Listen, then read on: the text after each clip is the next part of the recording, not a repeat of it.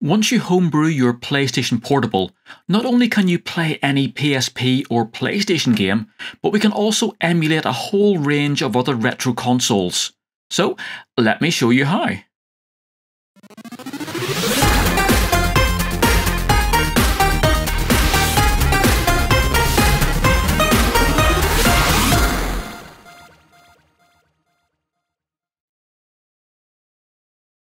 Hi and welcome to Bytes and Bits. If you've been following my PlayStation Portable videos, you'll know how to install the ARK-4 custom firmware so that you can play games from backup files. But the modification also lets you run homebrew applications. Now these are programs created by PSP fans to allow it to do much more than the original Sony device was ever designed for. Now, if you haven't yet modded your PSP, then do check out my videos. It's really easy and you'll have it all set up in about 10 minutes. So, to get hold of these homebrew apps, we can just head over to this website at gamebrew.org.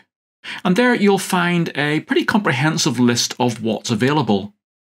Now, there's a whole range of applications to play around with, but in this video, we'll have a look at using the PSP to emulate other consoles so that we can play those games directly on our Sony handheld. So let's start with the Super NES, which is one of my favourite consoles. So if we have a look in the homebrew list, you'll find it's broken down into a number of sections. So if we click into the emulator section, we'll get apps for a wide range of consoles and computers. So if we scroll down to the console section, we can look for an SNES app. Now, now, sometimes you will find a range to choose from, so do look at the descriptions to see if you can get a clue as to which one might be the best. But, but at the end of the day, you'll probably just need to try a couple out to find out which one works best. Now, on this, I'm going to use this one here, which is the SNES 9X TYL. And I really initially chose this as it is based on the SNES 9X emulator, and is then listed as the most recently updated. And of course, after trying it out, I, do know that it actually works really well. So installing the homebrew apps is, is actually really easy. So first of all, go to the page for the particular app, and then read through the information um, in, in this Gamebrew website. So most of the apps come with an installation guide. So for this emulator, you can see that there are two versions, depending on which PSP you're using. So I'm going to need the S9XTYL-ME version because I'm using just a normal PSP. So after that, we'll need to create our own ROMs folder, and then that should be everything ready to play. So let's download the software using the download link. This will put an archive file onto your computer, so we just need to extract that onto our hard drive.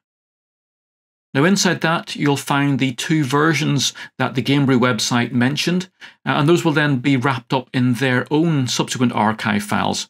So we need to extract these out and then extract that file to get to the actual installation folder that we want to copy across to our PSP.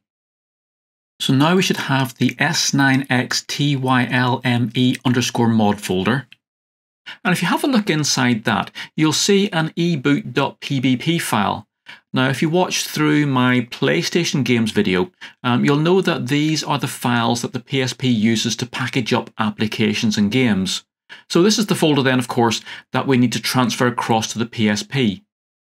But first of all, let's create that ROMs folder inside this package so that we can keep everything together.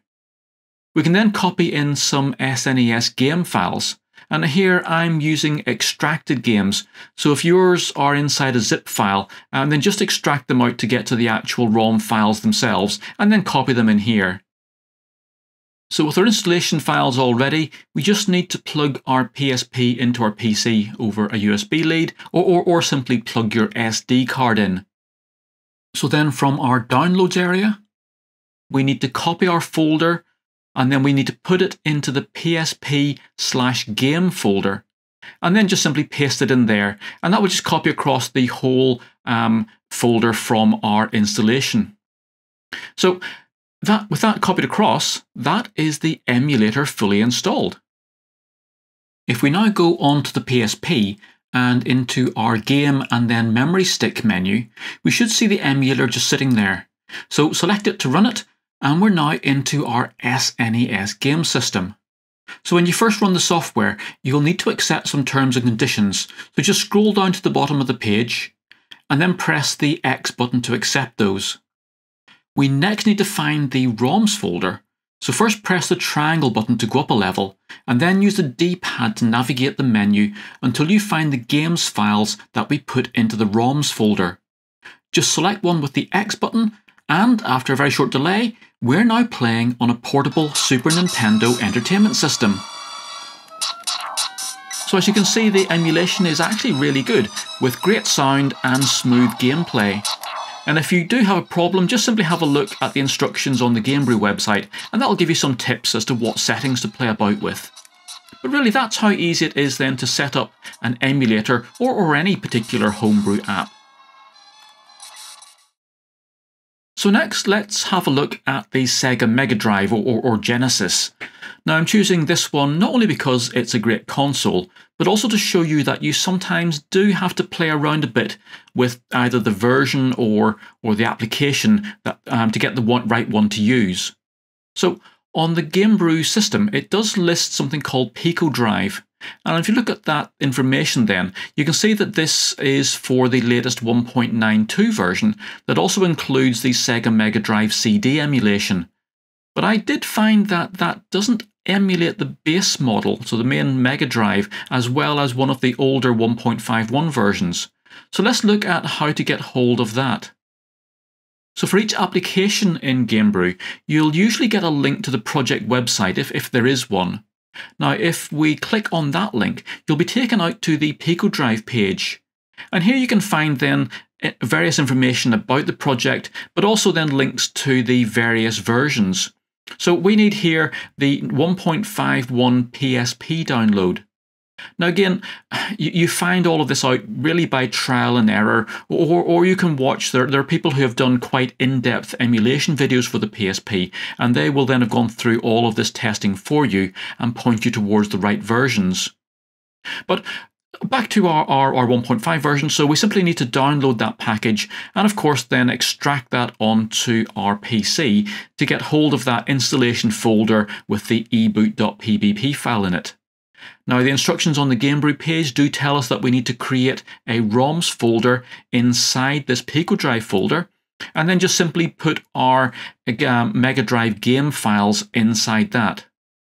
So as before, once we've got that all prepared, we then just simply need to copy this whole Pico Drive folder across to our PSP and drop it in that PSP uh, game directory.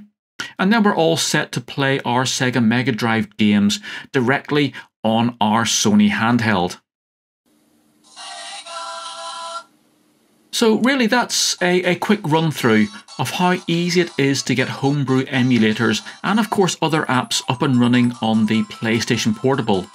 Now you will find the quality of these uh, homebrew software um, a little bit variable uh, but if you install one that doesn't work, all you have to do is simply go back onto your PSP SD card and simply delete the installation folder.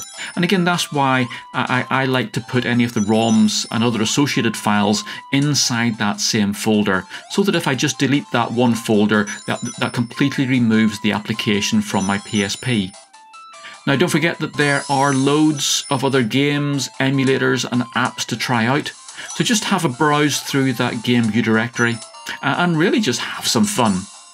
So I hope you find this a useful video. If you have, please do click that like button and subscribe to the channel for more videos like this or, or making and programming videos. I look forward to seeing you again very soon and bye for now.